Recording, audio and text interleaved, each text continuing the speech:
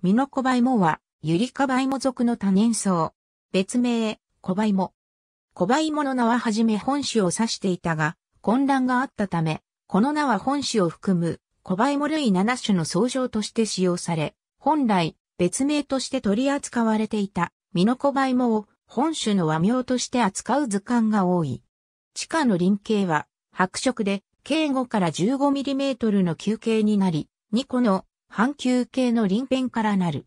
茎の高さは10から30センチメートルになり、葉は下部では耐性し、上部では三輪性し、葉身は皮心型から光線形で、長さ2.5から10センチメートルとなる。夏季は3月下旬マイナス5月。花は交渉形で茎先に下向きに1個つく。花皮片は長さ15から 25mm、長楕円型で、中部基部よりで外側に角張って張り出し、花皮片外面の突起が同族のカイコバイモと比べて著しい。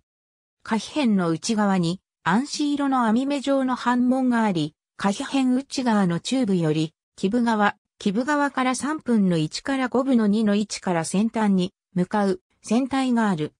花皮片の円は平滑で同族の腰の小梅ものような内花皮片の円に顕著な網状突起はなく、先端は尖る。花皮片より短いおしべが6個あり、薬はクリーム色になる。脂肪は3質あり、各質に多数の配種があり、中東は参列する。同族の細花小梅ものような花糸や花中にある小突起はない。果実は果てで放射裂開し、種子には狭い翼がある。日本固有種。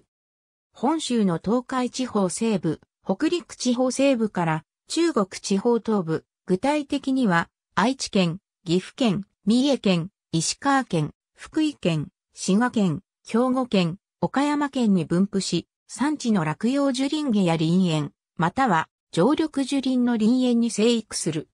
稀に見られる植物である。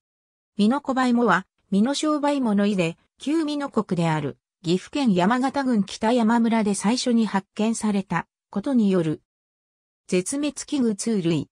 ありがとうございます。